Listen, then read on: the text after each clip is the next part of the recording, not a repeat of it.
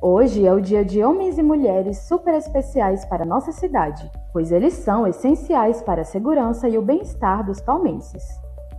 Em primeiro lugar, é uma honra muito grande, né? Você participar de uma força de segurança, de uma honrada instituição composta por pais e mães de família que dedicam a sua vida, o seu tempo a proteger o município de Palmas, a proteger a população. A Romu e a Guarda Metropolitana de Palmas como um todo, dioturnamente, está cuidando do maior patrimônio que as pessoas têm. O maior patrimônio que se tem é a vida. Já são 30 anos de trabalho em prol da nossa capital. Com dedicação e muito profissionalismo, eles estão dia e noite apostos para atender ao seu chamado. Não é muito bom poder ajudar. Eu vejo assim que é gratificante você ajudar a sociedade, ajudar a população. Que é esse o nosso papel de servir e procurar servir sempre da melhor maneira. Parabéns, guerreiros! Tamanha vocação de cuidar e proteger nossa cidade merece ser lembrada todos os dias.